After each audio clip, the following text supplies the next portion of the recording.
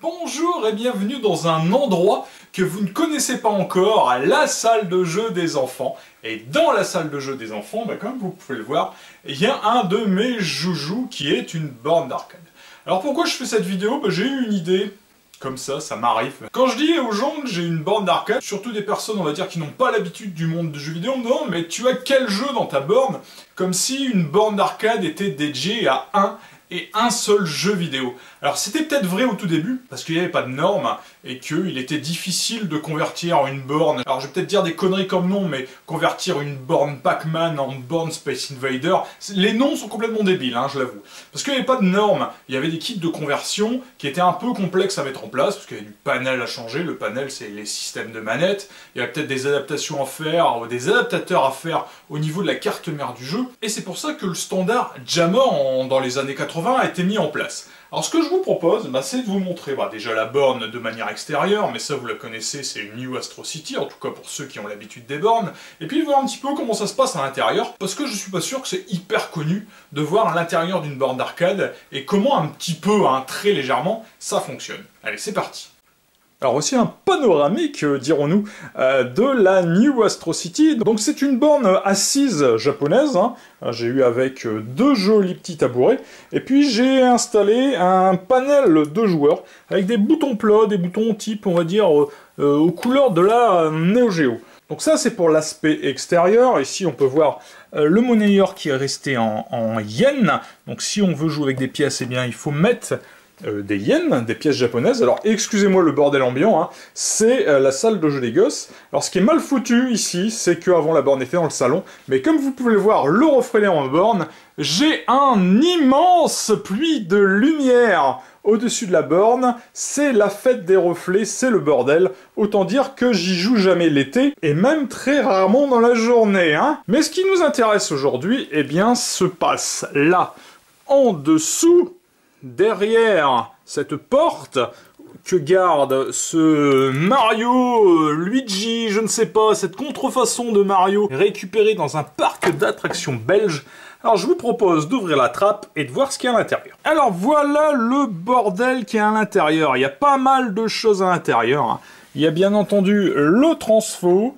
Ici, c'est ce qui va alimenter euh, la borne d'arcade avec des boutons test et Coin, je crois, de tête, je ne sais plus, pour rajouter des pièces manuellement, ou en tout cas euh, pour euh, euh, la borne et activer le mode test, on va dire, des cartes arcade. Ici, un potentiomètre pour régler le son, car oui, on peut régler le son sur une borne d'arcade. Et ici, ce que je vais vous montrer, J'en parlerai après, mais ça, si vous suivez mes vidéos, vous connaissez déjà cet engin. Voici ce qu'on appelle le JAMA. Alors, en effet, le JAMA, c'est une norme, mais c'est surtout, enfin, c'est une norme et surtout un connecteur générique, hein, si on veut respecter cette norme de 56 broches, sur lequel part plein de fils. Et en fait, ce connecteur regroupe, réunit, eh bien, par exemple, les baffes pour le son, le monnayeur, les contrôles du panel et bien entendu l'écran pour voir l'image. Il faut surtout pas oublier dessus de brancher votre carte de jeu. Donc il y a plusieurs, on va dire, formats de carte de jeu.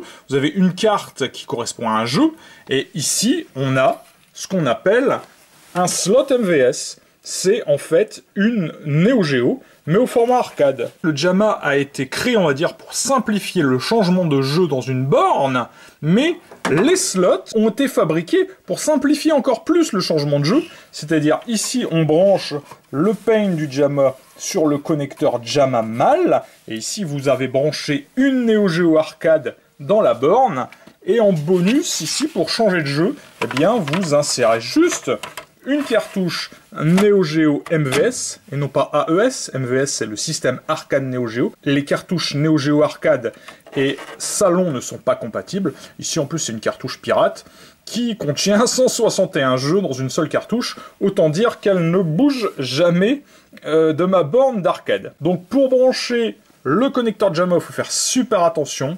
Il faut faire attention au top. Ici, c'est la flèche qui dit que la flèche rouge, c'est dans ce sens d'insertion, c'est-à-dire les composants de la carte mère doivent être vus et doivent se trouver vers le haut et donc on doit le brancher comme ça. Si vous le branchez à l'envers, eh bien vous risquez fortement de griller votre carte de jeu arcade ou votre slot MVS. Alors ici j'ai ouvert le monnayeur, hein. voilà à quoi, ça ressemble un monnayeur? Il y a, y a il y a des trucs de ma fille dedans.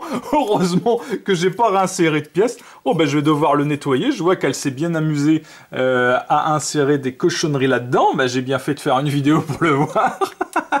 Et là en dessous, euh, en fait c'est là, les pièces vont tomber là. Et c'est la caisse où vous allez récupérer toutes les pièces. Bon là, elle est toujours ouverte parce que je n'ai pas les clés, donc elle reste ouverte. Et vous avez le coin meter qui vous dit qu'il y a eu jusqu'à présent 21, 21 361 pièces de, 100 yens euh, qui ont été insérées, euh, insérées dans cette borne. Donc il faut vraiment que je nettoie ce truc. Ma chérie, ça va chier. Donc voilà, là je viens d'allumer la borne pour vous montrer un dernier truc. Vous voyez le panel ici? Eh bien ce panel, si j'y arrive, se soulève et laisse apparaître certains potentiomètres.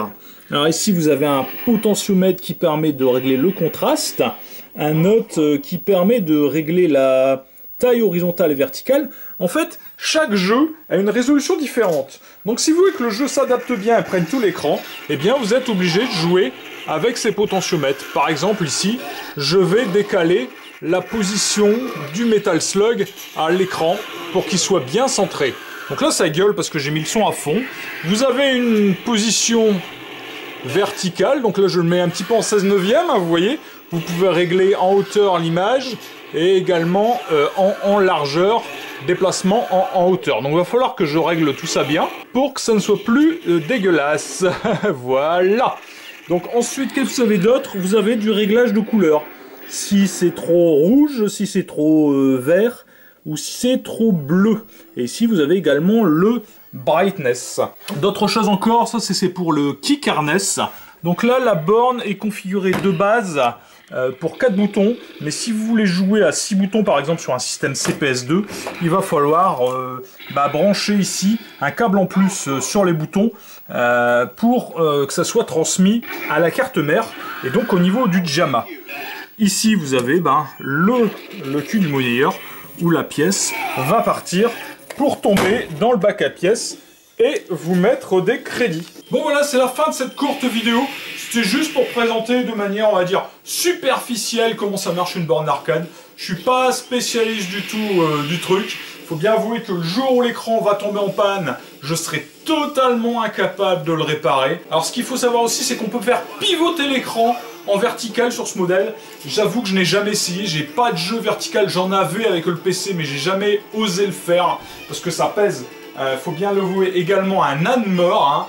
Hein. Donc euh, quand j'ai reçu la borne, il a fallu passer par la fenêtre, j'avais des gouttes de sueur euh, grosses comme mon poing. Donc voilà, c'est tout ce que je voulais vous présenter. Pour ceux qui ne connaissent pas du tout, j'espère que ça a fait une petite découverte. Pour ceux qui connaissent, j'espère que j'ai pas raconté trop de conneries. Maintenant, si vous voulez me faire plaisir, abonnez-vous, mettez un petit pouce bleu, et je vous dis à bientôt sur All School is Beautiful. Ciao, bye bye